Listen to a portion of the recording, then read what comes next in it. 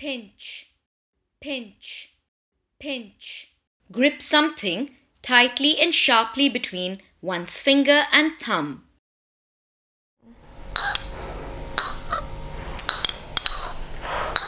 Why don't you just finish it? Why are you fiddling with it? It's it doesn't taste that good. I need a little bit of salt in this. Wait, let me get some salt for you. Here. One pinch? Yeah, just a pinch of salt. All right. Thank you so much. Are you sure you don't want another pinch of salt? No, I think just a pinch of salt is fine. Okay, cool. Let's use pinch in a sentence now. The food was bland and so the guests added a pinch of salt to it. Pinch, pinch, pinch.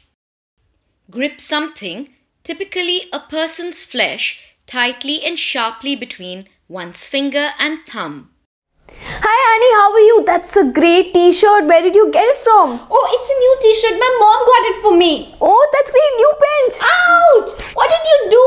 You pinched me. I'm so sorry. Did you did it hurt? Yeah, why did you pinch me? I'm so sorry. It's a new pinch. okay. Let's use pinch in a sentence now. The little child did not like the adults pinching his cheeks.